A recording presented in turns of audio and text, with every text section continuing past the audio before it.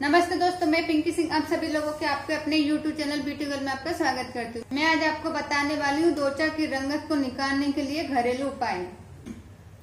सामग्री में आपको लेना है दो चम्मच दही और एक चम्मच आपको सेद लेना है। और सेद को मिलाकर, दही और सेद को दोनों को मिलाकर एक पेस्ट तैयार कर लेना है। इस पेस्ट को आपको चेहरे पर दो, लगा के पूरे दोनों हाथों से, ऐसे ऐसे लगा के आपको 15-20 मिनट तक छोड़ना है।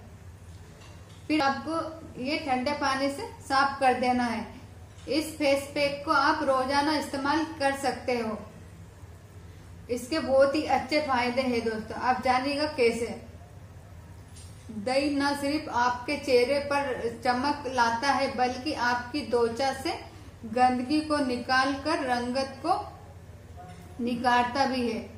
इसके अलावा दही में मौजूद पोषक तत्व जैसे विटामिन बी और विटामिन दोचा को स्वस्थ बनाती है। तो आपको ये जानकारी आपको अच्छी लगी हो तो मेरे वीडियो को लाइक, कमेंट, शेयर ज़रूर करेगा। मिलती हूँ दोस्तों आपको नेक्स्ट जानकारी के साथ।